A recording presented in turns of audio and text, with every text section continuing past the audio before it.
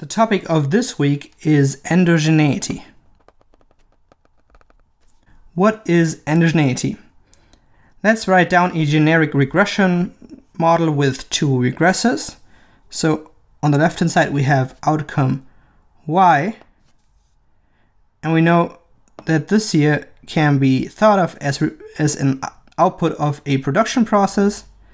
And then here on the right hand side, we have a combination of all the inputs. So first we have the regression curve.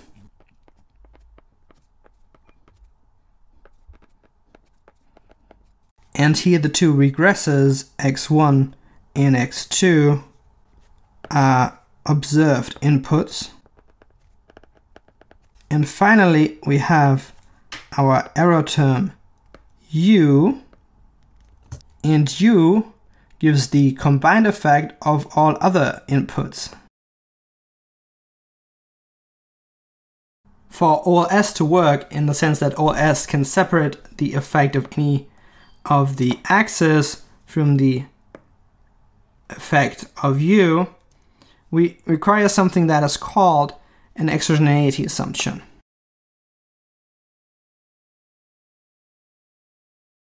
The OLS exogeneity assumption says that the conditional expectation of u given x1 and x2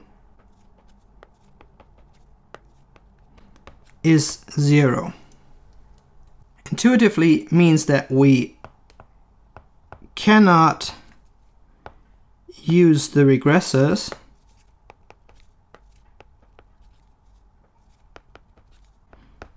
to predict the level of u.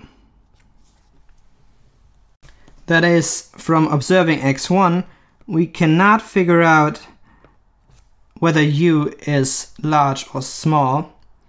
In the same way, we cannot use information in x2 or information that we obtain by combining what we observe for x1 and x2.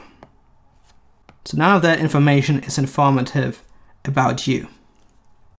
If the OLS exogeneity assumption does not hold, then we say that the regressors are endogenous, and then we have an endogeneity problem. So that's what endogeneity means.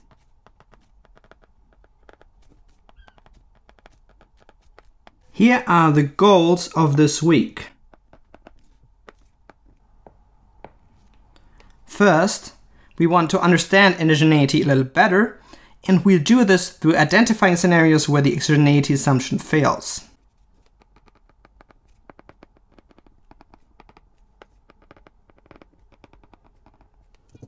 In particular, we're going to look at omitted variables,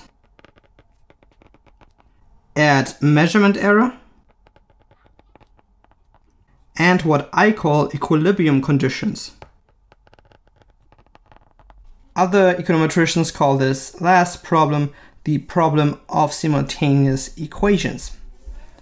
For our second goal, we're going to look at scenarios where exogeneity fails. So where we have an endogeneity problem, we cannot find a model specification such that the error term satisfies this. For scenarios where we have an endogeneity problem, we want to look at an alternative estimation strategy that does not require this kind of exogeneity assumption. It requires a different, maybe weaker exogeneity assumption. And this estimation approach is called instrumental variable regression or just IV regression.